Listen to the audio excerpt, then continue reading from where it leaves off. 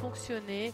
Donc il n'y a plus qu'à faire les choses. Et avec ces remarques, j'aimerais inviter le directeur exécutif de remercier notre panel pour cette excellente discussion, bien qu'elle ait été un peu courte, mais c'était quelque chose du début et nous allons continuer cette discussion ouverte. Et le, le, Ignacio Paquer, Paquer, notre directeur exécutif, va nous rejoindre. Il est là, je ne l'avais pas vu et donc nous allons pouvoir continuer pour les remarques de conclusion de cette conférence annuelle. Merci, merci Mirella et merci Missikir et Sarah.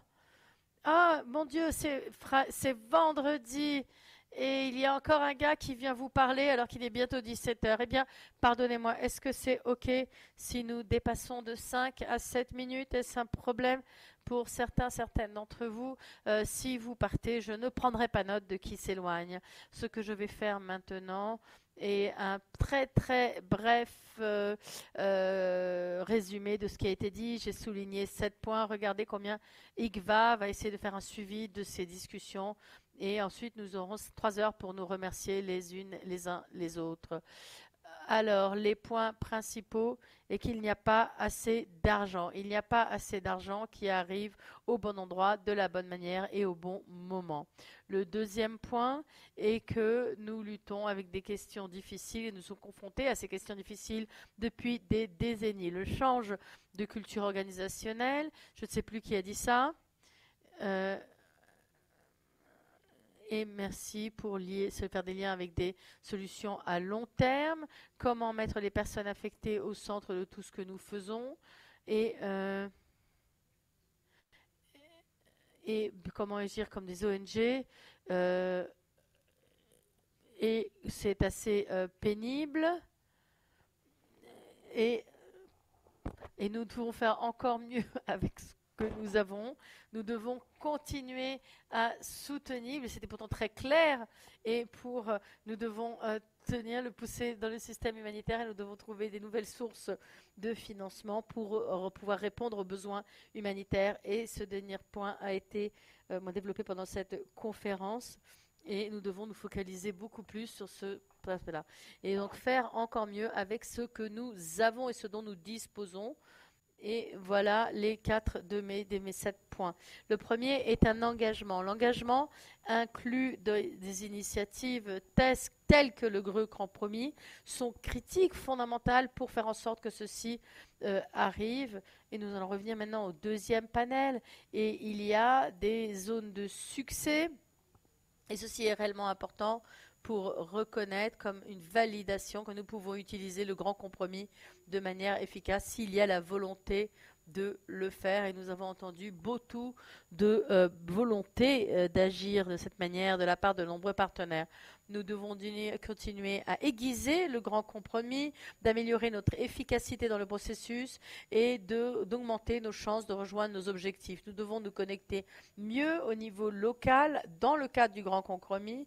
À quoi ressemblerait le succès en 2026 c'est-à-dire à 10 ans de la création euh, de du grand et alors que nous embarquons de nouveaux signataires dans le grand compromis, des clairs, euh, des dates clés, des mesures, des engagements euh, sont absolument cruciaux. Deuxième point, les priorités fondamentales incluent d'assurer des fonds qui soient mieux adaptés au contexte humanitaire. J'espère que vous rentrerez chez vous en entendant de plus en plus les illustrations de Taïba, mais également de Jamil et euh, d'autres. Troisièmement, nous, en tant qu'ONG, avons besoin également de faire notre travail pour nous assurer que nous travaillons de manière appropriée avec nos partenaires locaux en faisant des fonds de qualité qui couvrent le vrai coût des opérations humanitaires et en partageant des données claires au sujet des besoins humanitaires. En ce qui concerne les partenariats de principe, nous avons entendu maintenant des décisions euh, intentionnelles euh, d'acteurs clés qui vont déplacer la clé et, au lieu de plutôt de, de, faire, exploser le mur tel que l'a dit Missiki. Et, et, et nous avons entendu ceci et nous avons euh, apprécions beaucoup l'honnêteté des discussions que nous avons euh, entendues.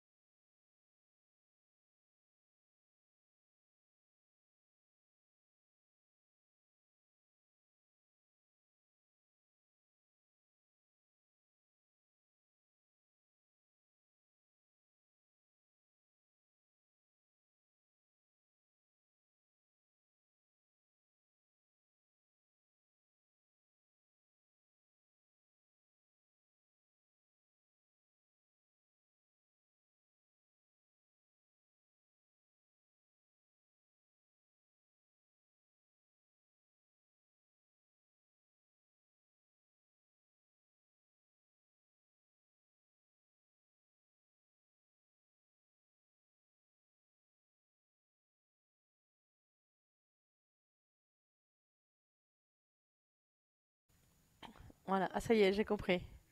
Alors, la question actuelle en ce qui concerne le futur de l'action humanitaire est bien plus profonde que les améliorations opérationnelles, techniques, et de rêver d'avoir des solutions techniques à nos problèmes. Nous avons aujourd'hui des questions fondamentales, des questions des positions quant aux capacités, aux, aux, actions à émettre et au pouvoir. Nous devons trouver des nouvelles sources de fonds pour répondre aux besoins humanitaires. C'était mon cinquième point. Nous avons besoin de trouver les bailleurs de fonds traditionnels et non traditionnels pour explorer des nouvelles manières traditionnelles directement et pour réduire les fardeaux sur les systèmes humanitaires.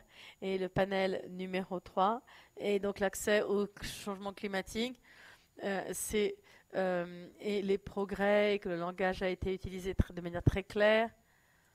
Et c'est peut-être très clair, un langage très positif. Il y a euh,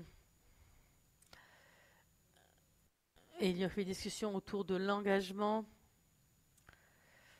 de les quadruples, quintuples, sextuples, nexus. Et il est important de réfléchir de manière holistique et de manière non compétitive. Et, et nous reconnaissons que c'est un équilibre difficile à trouver. Maintenant, les choses concrètes pour les ONG, pour les membres IGVA, j'ai huit points à souligner. Un, les discussions que nous avons eues aujourd'hui informent directement les contributions des ONG au futur de la continuation du grand compromis. Deux, je crois que ceci informe également, donne beaucoup d'informations quant à l'implication des membres d'IGVA sur IGFA 2030 et particulièrement sur les cinq transformations sur lesquelles les membres d'IGVA ont voté à l'Assemblée générale en mai 2021. Et, s'il me reste, euh, j'ai 15 minutes de plus, je peux les détailler Non, d'accord. Trois, il y a eu un appel également, s'il vous plaît, signer la charte sur le climat et l'environnement et il y a du soutien et du soutien qui est préparé pour la mise en œuvre de cette charte, pour vous soutenir pour la, sa mise en œuvre.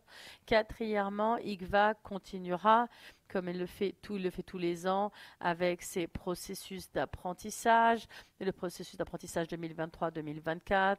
Restez connectés, il y aura un suivi des discussions que nous avons eues aujourd'hui. Cinq, bien entendu, les membres d'IGVA apprécient énormément la manière dont vous êtes impliqués dans les différentes plateformes et opportunités qui sont offertes pour élever et pour amener une voix collective des ONG, même s'il y a des différences et des, il y a des éléments de communalité qui sont essentiels. Si l'issue de la conférence, le rapport et la vidéo de la conférence qui sera rendue disponible et euh, interprétée dans différentes langues ou traduite dans différentes langues. 7. Ça, c'est encore plus loin. La 29e conférence annuelle IGVA est planifiée pour le 31 mars 2024. Il y aura seulement des changements. Il y aura un changement de directeur exécutif. Euh, euh, sur le principe, sur le principe, les membres IGVA, sur le principe de partenariat, vont se réengager vers les principes de partenariat et l'Assemblée générale, alors de l'Assemblée générale 2024, qui sera le en mars 2024 également. Entre-temps, ils vont continuer à pratiquer tout cela, des mots de remerciement ah, c'est ok, on est pas mal dans les temps, les mots de dans deux heures de remerciement. Alors tout d'abord, merci à tous les participants, toutes les participantes pour votre temps et pour votre expertise. Beaucoup euh, d'entre vous ont dû passer du temps loin euh, de, vos, euh, de chez vous parce que vous n'habitez pas dans la rue d'à côté. Une grande appréciation pour les panélistes. Nous avons eu 18 panélistes aujourd'hui, 17 en personne et c'était formidable d'avoir Mathieu avec nous depuis Washington. Il y a eu quatre sessions environ 50 personnes ont eu accès au micro. Je crois qu'il y avait 200 personnes inscrites, mais il est intéressant de voir comment environ euh, moins de 200 sont venus. Et donc, euh, nous allons appeler les 80 personnes qui étaient inscrites et qui ne sont pas venues pour leur dire ce qu'ils ont manqué. Et il y aura bien sûr un accès de, beaucoup d'autres auront accès au contenu grâce aux documents qui vont issuer de ce COSI. Nous remercions l'ambassadeur Lauberg pour les négociations qu'il a eues autour pour le bon temps euh, le soleil, mais nous n'avons pas pu en bénéficier beaucoup parce que nous étions dans la pièce. Nous remercions également la Suisse et Genève de nous avoir accueillis et pour la facilitation des visas euh, Schengen et d'avoir financé euh, certains des, de l'hébergement des leaders dans le fixe. Merci à nos bailleurs qui ont donné, nous ont permis d'avoir des fonds flexibles et multi-annuels qui nous ont permis d'organiser une conférence annuelle telle que celle-ci. Merci infiniment pour cette année. C'est Danemark, Norvège, Belgique, Suède et Suisse et la Suisse. Et nous encourageons les autres bailleurs de fonds, même si c'est juste une petite ligne budgétaire, euh, de payer un billet d'avion pour un leader national ou pour d'autres personnes pour nous permettre de venir et de participer à ces événements. Parfois, ils ont l'impression que ce n'est pas un grand effort pour chacun d'intégrer un simple euh, billet. Ce ne, ce ne sont pas que des gros montants qui sont nécessaires, mais si tout le monde contribuait un petit peu, nous pourrions continuer à maintenir la diversité des discussions que nous avons ici à Genève et également les événements, pour les événements qui sont organisés dans les régions. Et maintenant à la maison de la paix. Maison de la paix veut dire House of Peace en anglais. N'est-ce pas beau? Ce sont des mots magnifiques. Merci pour l'équipe de soutien et merci également aux interprètes. Et je propose que nous les applaudissions. Merci.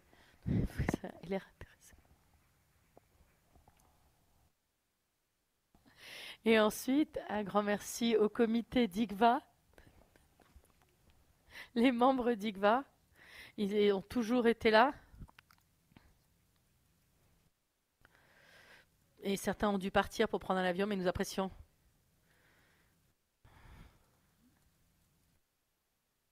Et merci à l'équipe d'IGVA. Et également les collègues moins visibles, Mylène, Jonah, Aïcha, Fabi, Cézi, Suzanne. Merci d'avoir mis en place les notes sexuelles, d'avoir organisé le prix, d'avoir sélectionné les participants euh, sponsorisés, les soutiens des visas et il y a tellement de choses à faire. Et merci pour votre travail à chacun, chacune.